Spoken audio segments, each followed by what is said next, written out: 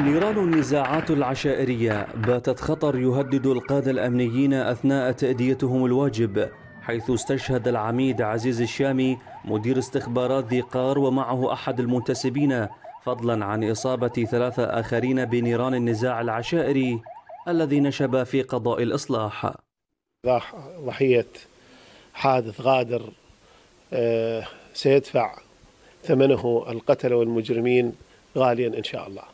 ما يحدث الآن في قضاء الإصلاح هو ليس طوقا أمنيا حول الناس وإنما هو حول بعض المجرمين والقتلة. آه، تفتيش حملة تفتيش واسعة إلقاء القبض على المشتبه بهم. هناك مجموعة من إلقاءات القبض صادرة من القضاء أصلا. آه، القضاء يجب أن يأخذ مجراه. لا حل لنا في هذه المحافظة إلا التعايش السلمي ولا حل بالتعايش السلمي إلا بسيادة القانون. أعتقد أن سيادة القانون ليس فقط بالجانب الأمني وإنما حتى في الجانب المدني. لا نستطيع أن نتعايش مع بعضنا البعض إلا بسيادة القانون ودولة القانون. مواطنون يطالبون بضرورة فرض القانون وتوفير الأمن ووضع حد نهائي لمسلسل النزاعات العشائرية الذي يشكل خطرا على المواطنين ويزهق حياة الضباط والمنتسبين.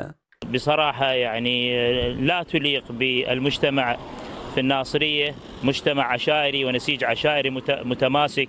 آن الأوان أن تسمع كلمة العقل وأن نرجع إلى كبار القوم وأن نسمع آه، لغة العقل أكثر من لغة التهديد لأن ترويع المواطنين والأطفال والنساء هي جريمة كبيرة بحق هؤلاء.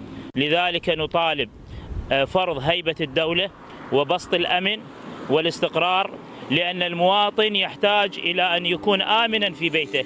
نرفض وبشدة الخبر المفجع على قلوبنا وهو خبر استشهاد أحد رموز القادة في محافظة ذي قار مدير الاستخبارات أبو ماهر رحمة الله على روحه آه، الطاهرة. وهذا مما يؤدي إلى الانفلات الأمني في محافظة ذي قار.